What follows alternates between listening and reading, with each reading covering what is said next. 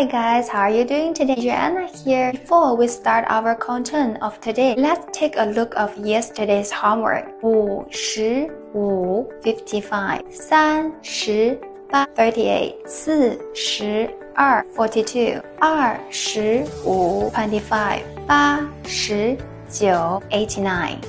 Did you get it all right? Great. Let's start for today. 今天几 how what's the day today？今天 today. 几? How many? How? Day.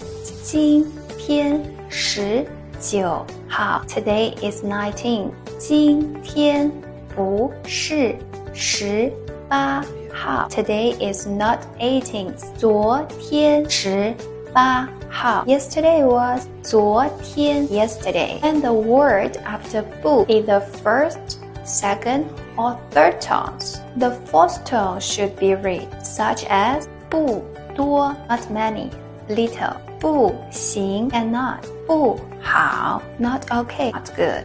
But if the word after 不 is also fourth tone, then 不 need change to second tone. Here we should read as 不是, but the tone label remain the same, only the pronunciation will be changed. So be careful of 不 readings. That's all for today.